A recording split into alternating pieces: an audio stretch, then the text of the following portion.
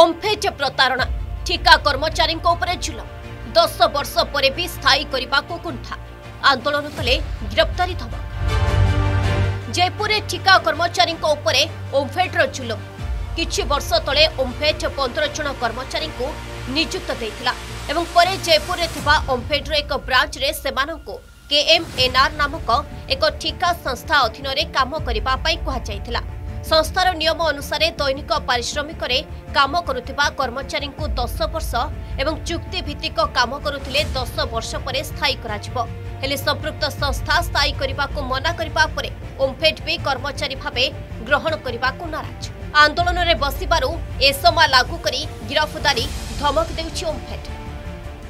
ଆଜକୁ ସତର ବର୍ଷ ହେଇଗଲା ପରେ କାମ କଲେ ମଧ୍ୟ ଆମକୁ ରେଗୁଲାର କରାଯାଇ ପାରିନାହିଁ ଦ୍ୱିତୀୟରେ ପୁଣି ତୃତୀୟରେ ଆମକୁ ଆ, ଦରମା କଟାଯାଉଛି ଆମକୁ ଟାର୍ଗେଟ୍ ୱାଇଜ୍ କରାଯାଇକି ଦରମା କଟାଯାଉଛି ଯେ ତୁମେ ଏତିକି ପରସେଣ୍ଟ ହେଇଛି ତୁମେ ଏତିକି ପରସେଣ୍ଟ ଦରମା ନେବ ଯାହାଦ୍ୱାରା କି ଆମେ ଚାଲିବା ଚଳିବା ଅସମ୍ଭବ ଏତେ ଦୂରରୁ ଆସିକି ଆମେ ବହୁତ ଦୂରରୁ ଆସିକି ବି ଏଠି କାମ କରିକି ସତର ବର୍ଷ ହେଲାଣି ଏ ପାହାଡ଼ ଏରିଆରେ ତଥାପି ଆମକୁ ଆମ ପ୍ରତି ଦୟା ହିଁ ଟିକେ ସେମାନଙ୍କର ନାହିଁ ଦୁଇ ହଜାର ପନ୍ଦର ମସିହାରେ ଆମର ମ୍ୟାନେଜର ସାର୍ ଗୋଟେ ଗ୍ରାଡୁଏସନ୍ ଲିଷ୍ଟ ଆମର ବନେଇଥିଲେ ଯେ ପ୍ରତି ଡେଲି ୱେଜ୍ ଡେଲି ୱେଜ୍ ଷ୍ଟାଫ୍ମାନଙ୍କୁ ବାର ବର୍ଷରେ ରେଗୁଲାର କରିବେ ସ୍ଥାୟୀ କରିବେ ଆଉ କଣ୍ଟ୍ରାକ୍ଚୁଆଲ୍ ଷ୍ଟାଫ୍ମାନଙ୍କୁ ଦଶ ବର୍ଷରେ ସ୍ଥାୟୀ କରିବେ ବୋଲି ଗୋଟେ ପ୍ୟାନେଲ ବୋର୍ଡ ଗଠନ କରିଥିଲେ ସେଥିପାଇଁ ଆଜ୍ଞା ଅଫିସରେ ବି ଅଛି। ଟାଇମ୍ ଯେତେବେଳେ ଅତିକ୍ରାନ୍ତ ହେଲା ଆମେ ପୁଣି ମ୍ୟାନେଜର ସାଙ୍ଗ ସହିତ ଦେଖା କଲୁ ଯେ ଆପଣ ତ ସମୟ ଦେଇଥିଲେ ଆମକୁ ରେଗୁଲାରାଇଜେସନ୍ ଦିଅନ୍ତୁ। ଆମର ଷୋହଳ ପନ୍ଦର ଚଉଦ ପନ୍ଦର ଷୋହଳ ବର୍ଷ ହେଇଗଲାଣି। ମ୍ୟାନେଜର ସାର୍ କହିଲେ ମୁଁ କିଛି କରିପାରିବିନି ତମେ ଓମ୍ଫେଡ୍ ଯାଅ। ଆମେ ଯେତେବେଳେ ଓମ୍ଫେଡ୍ କଲୁ ଓମ୍ଫେଡ୍ ସାର୍ କହିଲେ ଏମ୍ ଡି ସାର୍ କହିଲେ ଆମର ହାତରେ ରେଗୁଲାରାଇଜେସନ୍ ନାହିଁ। ଏ ମ୍ୟାନେଜର ସାର୍ ପାଖରେ ଅଛି। ଠିକା ସଂସ୍ଥା ଦରମା କାଟିବା ସହିତ ମାନସିକ ନିର୍ଯାତନା ଦେଉଥିବା ଅଭିଯୋଗ କରିଛନ୍ତି କର୍ମଚାରୀ। ସେପଟେ ସଂସ୍ଥା ପକ୍ଷରୁ ଅଭିଯୋଗକୁ ଖଣ୍ଡନ କରାଯାଇଛି।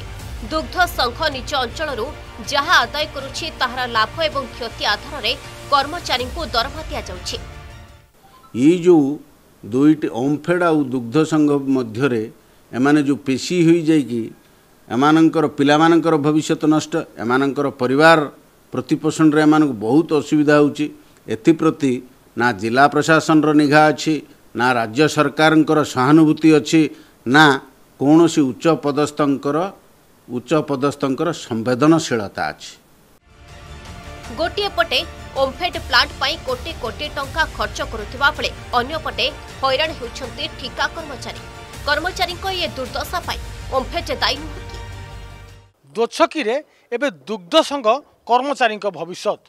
ନା ଶୁଣୁଛି ସଂଘ ନା ସେମାନଙ୍କର ଗୁହାରି ଶୁଣୁଛି ଓମ୍ଫେଡ୍।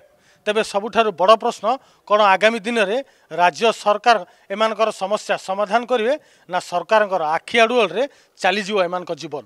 ତାହା ଏବେ ଦେଖିବାକୁ ବାକି ରହିଲା। ଜୟପୁର କ୍ୟାମେରା ପର୍ସନ ସନ୍ତୋଷଙ୍କ ସହିତ ମନୋଜ ଦାସ ଅର୍ଗସ୍ ନ୍ୟୁଜ୍।